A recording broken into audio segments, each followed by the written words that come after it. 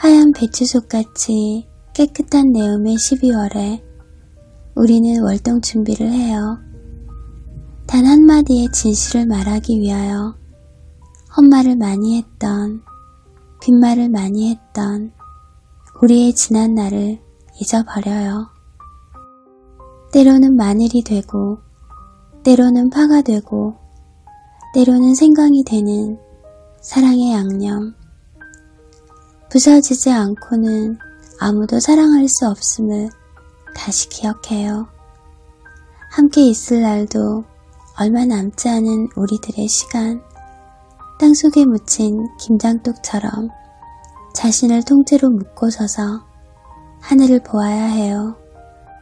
얼마쯤의 고독한 거리는 항상 지켜야 해요. 한겨울 추위 속에 제맛이 드는 김치처럼 우리의 사랑도 제맛이 들게 참고 기다리는 법을 배워야 해요. 12월의 노래 이혜인